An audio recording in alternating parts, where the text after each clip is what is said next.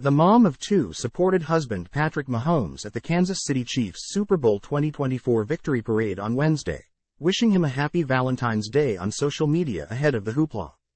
The former soccer player, 28, bundled up in a white jacket over a bedazzled special edition Super Bowl t-shirt, and added extra glam with her accessories, sporting a diamond-encrusted football pendant. Necklace. She paired it with a $8,500 diamond-covered Van Cleef and Arpels Alhambra necklace, which she also wore to the big game on Sunday. Three Super Bowls together with my girl, Brittany captioned a selfie on her Instagram story with fellow Chiefs wag Lyndsay Bell, showing off her dazzling jewelry and oversized sunglasses. She added that in the midst of the post-Super Bowl chaos, her spouse didn't forget about Valentine's Day and gifted her a rose. For his part, Patrick wore a Chiefs bomber jacket and a pair of reflective sunglasses that matched Travis Kelce's. The tight end teamed his shades with a Chiefs hoodie and a supersized WWE Championship belt for the parade.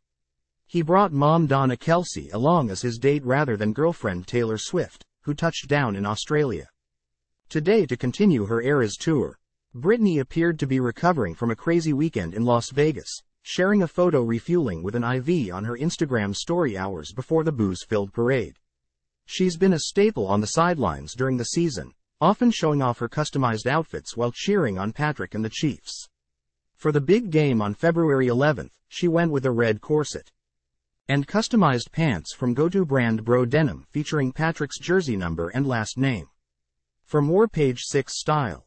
Around her neck, she wore a diamond, 15, pendant and a necklace adorned with Patrick's name along with those of their two children, Sterling, 2, and Bronze, 1.